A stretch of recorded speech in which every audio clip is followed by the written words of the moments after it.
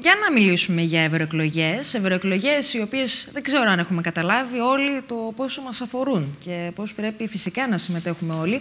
Σας είπα ότι οι 16 υποψήφοι ευρωβουλευτές της Νέας Δημοκρατίας βρίσκονται σήμερα στο Ηράκλειο με αφορμή σχετική εκδήλωση α, που πραγματοποιεί το κόμμα της Νέας Δημοκρατίας στην πόλη του Ηράκλειου. Θα φιλοξενήσουμε αρκετούς από αυτούς σήμερα στην εκπομπή. Θα ξεκινήσουμε με τον κύριο Κώστα Δέρβο, ο οποίος είναι υποψήφιος ευρωβουλευτής της Νέας Δημοκρατίας και πρόεδρος της ΟΝΕΔ. Καλησπέρα σας. Καλησπέρα. Ευχαριστώ πολύ για την πρόσκληση. Εμείς ευχαριστούμε που είστε εδώ μαζί μας, γιατί η αλήθεια είναι ότι έχουμε να πούμε πολλά. Ε, είδα και την παρουσίαση, ε, την επίσημη παρουσίαση του Ευρωψηφοδελτίου της Νέας Δημοκρατίας. Και η αλήθεια είναι τώρα, κύριε Δόρβο, θα σας ρωτήσει κανείς ε, ποιο είναι τελικά το νόημα των ευρωεκλογών αυτών; Γιατί για πολλούς ενδεχομένως να φαντάζει οξύμορο ότι η Νέα Δημοκρατία λέει ψηφίζουμε για την Ευρώπη, αλλά από την άλλη το θεωρείται και ως ένα εσωτερικό δημοψήφισμα. Κύριε Σαγιανάκη, οι Έλληνες πολίτες έχουν να προσέλθουν στις κάλπες εδώ και τέσσερα χρόνια. Σε αυτά τα τέσσερα χρόνια υπήρξε μια καταστροφική πολιτική του ΣΥΡΙΖΑ, όχι μόνο στο κομμάτι της οικονομίας, τόσο στην παιδεία, τόσο στην υγεία, ακόμα και στα εθνικά ζητήματα. Οπότε εκ των πραγμάτων, και επειδή είναι πολύ κοντά και οι εθνικές εκλογές, αν δεν έχουν γίνει μέχρι τότε ή αν δεν γίνουν ταυτόχρονα, ακόμα εγώ το θεωρώ πιθανό σενάριο το να προηγηθούν. Προλαβαίνουμε ακόμη βάσει του, ε, περιθωρίου που έχουμε. οριακά προ, προλαβαίνουμε. Ναι. Α, οριακά, ναι. Οπότε, εκ των πραγμάτων αποκτούν ένα χαρακτήρα δημοψηφίσματος. Ωστόσο, πολύ καλά λέτε κι εσείς ότι για ποιο λόγο να προσέλθει κάποιος στις ευρωπαϊκές ε, εκλογές, στις ευρωεκλογές για να ψηφίσει; Η απάντηση είναι πολύ απλή. Γιατί για τις επόμενες δεκαετίες, τα επόμενα 10-20 χρόνια, οι μεγάλες αποφάσεις που αφορούν την ε, πατρίδα μας θα πάρθουν σε επίπεδο Ευρωπαϊκής Ένωσης. Οπότε εκεί θα έλεγα ότι πρέπει να υπάρχουν ε, ισχυρές φωνές της κοινής λογικής. Ε, θα πρέπει να εκπροσωπήσουν την πατρίδα μας άνθρωποι οι οποίοι έχουν έντονο το προσανατολισμό τους και το βλέμμα στραμμένο προς την Ευρωπαϊκή Ένωση. Έχουν μέσα τους ε, τις αξίες της Ευρωπαϊκής Ένωσης και θεωρώ ότι πρέπει να είναι άνθρωποι που είναι καταξιωμένοι τόσο στον επαγγελματικό τους στίβο, αλλά να έχουν δείξει και δείγματα γραφής στο κομμάτι της πολιτικής ε, τα προηγούμενα χρόνια, έτσι ώστε να μας εκπροσωπήσουν εκεί, να εκπροσωπήσουν την πατρίδα μας, να σηκώσουν ε, τα μανίκια, να σκύψουν το κεφάλι, να δουλέψουν πάρα πολύ, έτσι ώστε πάρα πολλά χρηματοδοτικά εργαλεία τα οποία υπάρχουν εκεί, όχι μόνο σε εθνικό επίπεδο, αλλά και σε περιφερειακό επίπεδο, να τα διεκδικήσουν, να χτυπήσουν το χέρι στο τραπέζι και σιγά σιγά να αρχίσουν αυτά να έρχονται στην Ελλάδα και να απορροφώνται σε καλή συνεργασία τόσο με την κεντρική πολιτική σκηνή αλλά και με τους ε, τοπικούς άρχοντες. Ξέρετε, το, το ερώτημα που πολλές φορές και εμείς αναρωτιόμαστε εδώ οι δημοσιογράφοι και η αλήθεια είναι ότι είναι ένα στοιχείο για ρεπορτάζ το οποίο θα το κάνουμε ε, μία από τις επόμενες ημέρες. Είναι γνωρίζει ο Έλληνας τι ψηφίζει στις ευρωεκλογές και γιατί α, καλείται να επιλέξει κάποια συγκεκριμένα πρόσωπα. Θα το πω α, και με παράδειγμα. Α, μία ηλικιωμένη κυρία εδώ στην Κρήτη, ένας ηλικιωμένος κύριος, ενδεχομένως να έχει το μυαλό του την Ευρώπη ως επιδότηση.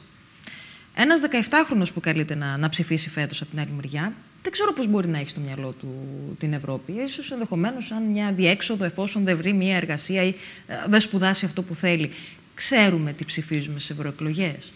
Η αλήθεια είναι πως οι Έλληνες πολίτες δεν γνωρίζουν για ποιο λόγο ε, πηγαίνουν και ψηφίζουν στις ευρωεκλογές.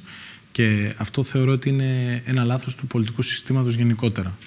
Γιατί κατεβαίνει κάποιος από το πεζοδρόμιο του, από το σπίτι του και πατάει ένα φρέσκο πεζοδρόμιο στρωμένο, ένα δρόμο καλά στρωμένο ή βλέπει τις σύγχρονες, ε, τους σύγχρονους λαμπτήρες LED τεχνολογίας που δεν καταναλώνουν ε, υψηλή πολύ ε, και δίνει τα συγχαρητήρια μόνο στον Δήμαρχο, στον Περιφερειάρχη ε, κλπ. Αυτοί οι άνθρωποι για να κάνουν όλα αυτά τα έργα, ε, τα χρήματα τα έχουν βρει στην Ευρωπαϊκή Ένωση. με, με τη συνεργασία της Ευρωπαϊκής Ένωσης έχουν γίνει όλα αυτά. Είπατε πριν πολύ σωστά ότι ένας 17 μπορεί να βλέπει την Ευρωπαϊκή Ένωση ως μια διέξοδο για την εργασία του. Αυτό είναι και κάτι το οποίο είναι πολύ θλιβερό, αλλά είναι μια πραγματικότητα. Ειδικά τα τέσσερα τελευταία χρόνια, περίπου 90.000 νέοι άνθρωποι, καλά με δύο και τρία πτυχία, τα οποία οι γονείς τους με πάρα πολύ κόπο και υδρότα τα, τα σπούδασαν, βγαίνουν σε μια αγορά εργασίας που είναι πραγματικά ένας εργασιακός μεσαίωνας, δουλεύουν για 200 και 300 ευρώ ανασφάλιστοι, με αποτέλεσμα να απογοητεύονται, να μην μπορούν να κάνουν εδώ οικογένεια και να εγκαταλείπουν την πατρίδα μας. Άνθρωποι που πολύ δύσκολα επιστρέφουν πίσω Και αυτό είναι το μεγάλο ζήτημα για μένα και το πρώτο θέμα που θα ήθελα να θέσω την επόμενη μέρα ε, εκπροσωπώντας την πατρίδα μου στο Ευρωπαϊκό Κοινοβούλιο. Είναι το πρόβλημα του δημογραφικού. Γιατί σύμφωνα με έρευνες, το 2050 ε, θα είμαστε ένα γυρασμένο κράτος, δεύτερη σε μέσο όρο ε, ηλικίας και ένα κράτος 8 εκατομμυρίων από 11 που είμαστε σήμερα. Ναι. Και αυτό είναι ένα μεγάλο θέμα και θα πρέπει να το δούμε πέρα βέβαια από μια επιδοματική πολιτική, πώς μπορούμε να ενισχύσουμε περισσότερο τις οικογένειες. Γι αυτό, γι' αυτό το ζήτημα θεωρώ ότι δεν πρέπει να σταθούμε μόνο σε επιδοματικές πολιτικές. Άλλωστε, εγώ πιστεύω ότι είναι καλύτερα να επιδοτείται η ανάπτυξη και εργασία, παρά να υπάρχουν σπασμωδικά μέτρα επιδότησης. Γι' αυτό θεωρώ ότι πρέπει να υπάρξει μια κοινή στρατηγική όλων των κομμάτων του δημοκρατικού τόξου, τα οποία πιστεύουν στην έννοια της Ευρώπης, όχι τη μία μέρα είναι εδώ και την άλλη είναι εκτός Ευρώπης κλπ. Ε, με αποτέλεσμα να υπάρξει μια πολιτική χάραξη για τα επόμενα 20 χρόνια, έτσι ώστε να λυθεί στη βάση του και να καταπολεμηθεί στη ρίζα αυτό το πρόβλημα. Άρα το, το δημογραφικό είναι ένα θέμα το οποίο θέλετε εσείς λοιπόν ως Ευρωβουλευτής, εφόσον σας επιλέξει ο κόσμος, να το βάλετε για τα καλά στο επίκεντρο του Ευρωπαϊκού Κοινοβουλίου. Άλλο θέμα, άλλη προτεραιότητα δική σας προσωπική, πέρα από τα, τα θέματα τα οποία αναδεικνύει η Νέα Δημοκρατία, είτε ε, από το εσωτερικό είτε μέσω του Ευρωπαϊκού Λαϊκού Κόμματος, ποιο είναι εκείνο το οποίο πιστεύετε ότι ενδεχομένως να μην το έχουμε συζητήσει και όσο οφείλουμε; Πολύ σημαντικό ζήτημα που έχει συζητηθεί είναι το ζήτημα του προσφυγικού. Το καταλαβαίνετε γιατί. Γιατί η Ελλάδα είναι φυσικό σύνορο της Ευρώπης με την ε, Τουρκία. Οπότε είμαστε ο κυματοθράφστης όλης αυτής της μεταναστευτικής ροής που υπάρχει προς, ε, προς την Ευρώπη. Εγώ θέλω να πω και να θυμίσω στους τηλεθεατές σας ε, πώς ήταν τα πράγματα κατά τη διάρκεια της διακυβέρνησης της Νέας Δημοκρατίας. Υπήρχαν ε, κλειστά κέντρα διαλογής, ε, ξεχώριζαν οι πρόσφυγες με τους μετανάστες.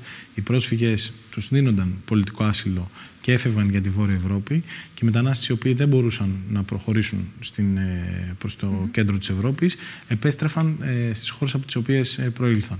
Αυτό το ζήτημα έχει συζητηθεί αρκετά. Δεν ήταν στο πλάι μας, δεν στάθηκε στο πλάι μας όσο θα έπρεπε η Ευρωπαϊκή Ένωση. Όμως να μην ξεχνάμε ότι έχει στηθεί και μια μεγάλη επιχείρηση πάνω στις ζωές αυτών των ανθρώπων οι οποίοι περνάνε ε, στη χώρα μας. Έχει στηθεί ένας χώρο εκατομμυρίων πραγματικά ε, με τις μη κυβερνητικές οργανώσεις. Και επειδή και εσχάτως λόγω της υποψηφιότητάς μου ως Ευρωβουλευτής, αλλά και ως πρόεδρος της ΟΝΕΔ, έχω περιοδεύσει αρκετά στα νησιά, ειδικά του Βορείου Αιγαίου. Έχω πάει στη Λέσβο, έχω πάει στη Χίο, έχω πάει στη Τσάμο. Καθόλου τιμητική εικόνα που παρουσιάζουμε. Είναι πραγματικά, αυτό ήθελα να σας πω, είναι πραγματικά θλιβερό και είναι, νιώθω ντροπή να είμαι Έλληνας και να βλέπω ανθρώπους να βρίσκονται και να ζουν κάτω από τέτοιες συνθήκες.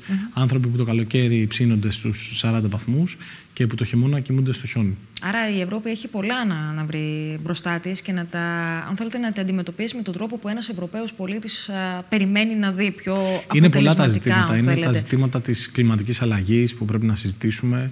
Είναι τα ζητήματα της ενέργειας που αναδιανύμεται ο χάρτης mm-hmm. της ενέργειας στην Ευρώπη και η Ελλάδα είναι σε κομβικό γεωστρατηγικό σημείο και πρέπει να ηγηθούμε πλέον το κομμάτι αυτό της ενέργειας. Απλά πρέπει να μας εκπροσωπήσουν και άνθρωποι εκεί που να έχουν και γνώση αυτών των ζητημάτων, αλλά να έχουν και τη θέληση ε, έτσι ώστε η χώρα μας να είναι πρωτοπόρος και όχι ουραγός. Ναι, είναι και η θέληση ένα βασικό χαρακτηριστικό. Νομίζω ότι α, μετά τις ευρωεκλογές ενδεχομένως και η Ευρώπη, η Ευρωπαϊκή Ένωση να κληθεί να επαναπροσδιορίσει τη στάση της σε κάποια πράγματα και με δεδομένο ότι έχουμε και ένα Brexit το οποίο εκκρεμεί, δεν ξέρουμε πώς θα ολοκληρωθεί και πότε θα ολοκληρωθεί. Έχει δοθεί μια παράταση για την ολοκλήρωση των διαδικασιών. Όπως και να έχει όμως, έχουμε ένα τοπίο το οποίο είναι θολό για την Ευρωπαϊκή Ένωση η επόμενη μέρα. Εννοώ. Κοιτάξτε. Αυτή τη στιγμή η Ευρωπαϊκή Ένωση όντως βρίσκεται σε ένα σταυροδρόμι. Υπάρχουν έντονες φωνές ε, της ακροδεξιάς, Υπάρχουν έντονες φωνές των ευρωσκεπτικιστών. Υπάρχουν ε, έντονα και φωνές ε, του, της, ε, άκρα, του άκρου, των άκρων στο λαϊκισμό. Ναι. Ε, οπότε θεωρώ ότι ενισχύοντας τις φωνές της κοινής λογικής και ε, την επόμενη μέρα εκλεγόμενος ο Μάφε Βέμπερ στην Προεδρία της Κομισιόν, ένας άνθρωπος ο οποίος έχει μια πολύ καλή διαπροσωπική σχέση με τον πρόεδρο της Νέας Δημοκρατίας, τον Κυριάκο Μητσοτάκη.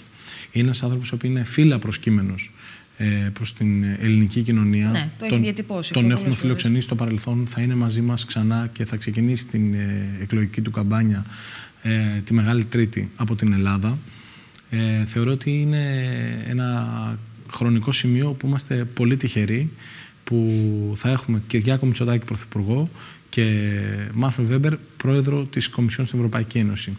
Οπότε ίσως είναι και ευκαιρία τα ζητήματα τα οποία άπτονται, τα εθνικά ζητήματα που άπτονται πάνω στο κομμάτι της ελληνικής οικονομίας και της κοινωνίας, να έχουν έτσι και θα έλεγα μια προτεραιότητα στην ατζέντα του. Βέβαια, σας είπα και πριν, ε, ρόλο θα παίξει το πόσο διεκδικητικοί είναι οι άνθρωποι που θα πάνε την επόμενη μέρα να μας εκπροσωπήσουν στις Βρυξέλλες και στο Στρασβούργο, πόσο όρεξη για δουλειά έχουν και πόσο καλά θα κάνουν ε, την, ε, τη δουλειά τους εκεί και όχι τουρισμό. Ναι, βέβαια. Ε, την ίδια ώρα, βέβαια, έτσι, όπως παρακολουθούμε για τις εξελίξεις, βλέπουμε έναν Σαλβίνη ο οποίος καλεί συνεχώς σε μια συσπήρωση της άκρας δεξιάς. Σας ανησυχεί αυτό ότι ενδεχομένως διαμορφώσεις ισορροπίες οι οποίες θα είναι πολύ δύσκολες ό,τι έχει να κάνει μετά με την την διαδικασία ε, την οποία θα ακολουθεί το Ευρωκοινοβούλιο. Κοιτάξτε, μα μας ανησυχεί αρκετά και γι' αυτό και ο πρόεδρος της Νέας Δημοκρατίας ήταν αυτός που ζήτησε την αποπομπή του κόμματος του κ. Όρμπαν από το Ευρωπαϊκό Λαϊκό Κόμμα. Γιατί μιλάει για ανελεύθερη δημοκρατία και δεν ασπάζεται τις αρχές και τις αξίες τόσο του Ευρωπαϊκού Λαϊκού Κόμματος όσο και της Νέας Δημοκρατίας.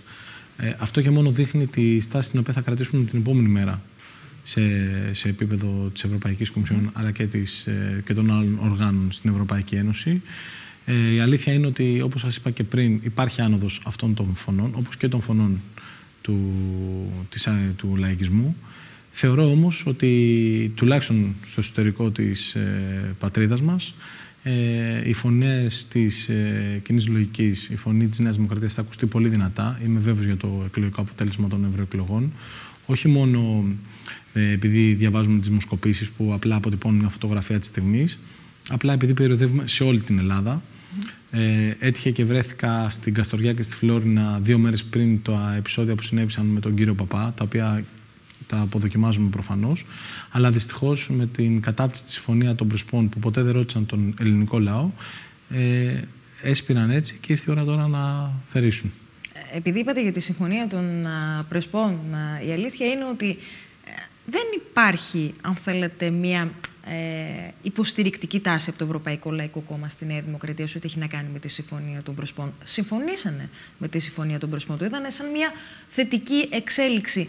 Ε, υπάρχει μια αμήχανη, αν θέλετε, θέση ανάμεσα στη Νέα Δημοκρατία, μέσα μάλλον στην οικογένεια του Ευρωπαϊκού Λαϊκού Κόμματος. Στην ε, οικογένεια του Ευρωπαϊκού Λαϊκού Κόμματος ε, καταλαβαίνουν απόλυτα τη στάση της Νέας Δημοκρατίας όλοι οι Ευρωπαίοι εταίροι μας αυτό που επιζητούν είναι να υπάρχει ηρεμία, ε, ειρήνη στα Βαλκάνια και να προχωράνε ομαλά τα έθνη και τα κράτη μας.